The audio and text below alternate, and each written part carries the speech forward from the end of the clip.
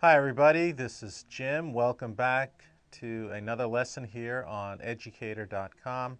And today we're going to talk about tables, one of the more important aspects of HTML5 and web design in general. And the lesson overview for today is we're going to discuss what the purpose of a table is, the anatomy of a table, the ins and out. Of course, that involves the elements. Now, what I've discovered about HTML5 is that it is actually a combination of both HTML and CSS, which stands for Cascading Style Sheets, and I'll go ahead and write it down for you. Okay, Cascading Style Sheets, or otherwise known as just Style Sheets.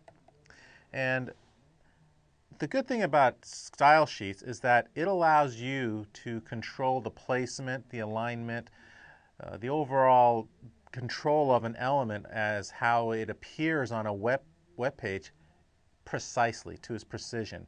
Whereas in HTML 4.0, if you wanted to indent an element or like a, a paragraph or an image, pretty much you're reliant on whatever the browser decides on indenting. So usually about I don't know, maybe 5 to 10 pixels. In this case, with CSS, you're allowed to, it gives you the power to indent according to the number that you want it to indent. So it gives you more control. So, uh, but of course, there's a little bit more learning involved. And in this lesson, we're going to introduce CSS to you, but we're not going to go in depth to it. But at any rate, we're going to compare the difference between HTML and CSS, and of course, the marriage between HTML and CSS. So uh, the other thing we're going to talk about, obviously, how both elements are involved in positioning, and then, of course, uh, data alignment, the material or the content that appears within the cell. So let's go ahead and dive right in, and let's go ahead and talk about the anatomy of a table. Now, before I go on, I had mentioned in the previous slide that I'm going to talk about the purpose of the table. And the table basically is for arrangement, okay?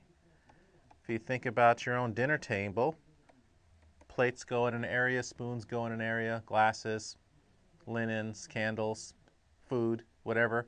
Uh, everything has its place on a table. The same thing with a web table. Everything has its place. In this case, you have a, an image here of a beach ball to the left. You have the verbiage here to the right. And then on top of each element, uh, you have the